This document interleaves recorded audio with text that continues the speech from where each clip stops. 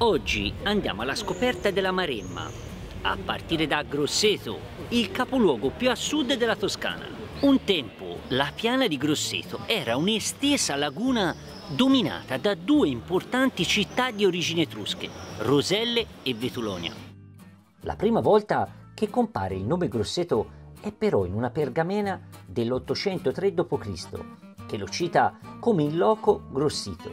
Nel Medioevo questo capoluogo fu governato dagli aldobrandeschi, che hanno lasciato torri, castelli, rocche e fortificazioni, e dai medici, costruttori di strutture suggestive come le bellissime mura di Grosseto, uno dei rari esempi di architettura militare tardo-rinascimentale.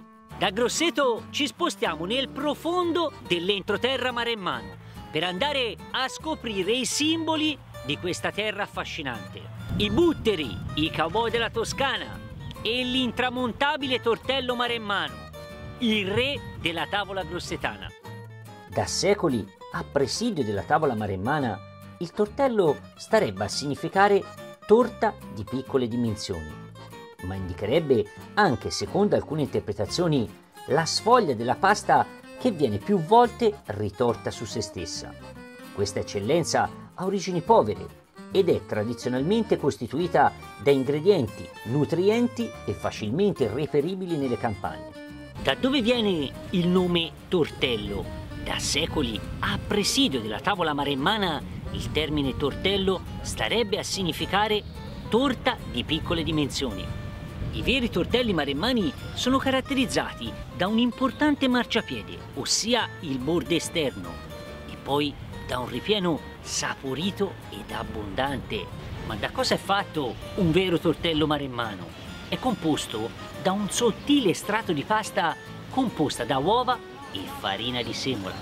E dal ripieno di spinaci, bietole o altre erbe di campo come ortica o borragine, che comunque devono essere sempre sottoposte a cottura prima di andare a costituire il ripieno.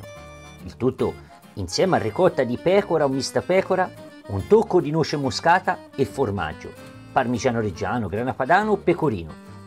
Il tortello maremmano infine ha misure tutte sue. Chiuso su tre lati, pesa da 50 a 70 grammi in misura dai 7 ai 9 cm. E come si sviluppa invece una preparazione ottimale? Una volta preparati, i tortelli devono essere cotti in acqua bollente per pochissimi minuti, fino a quando non si nota il rigonfiamento nella parte contenente il ripieno dopo essere stati scolati, possono essere serviti con carne maremmana di cinghiale oppure conditi semplicemente con burro e salvia e può essere aggiunto anche del pecorino grattugiato. Il tortello è il simbolo della Maremma e del suo spirito indomabile, proprio come quello di un vero buttero. Dall'involucro spigoloso ma dal cuore morbido. Questo piatto è una combinazione vincente di semplicità e sapori autentici e forti. È una ricetta il cui segreto si cela tutto nell'equilibrio tra gli ingredienti e che esalta le ottime materie prime del territorio.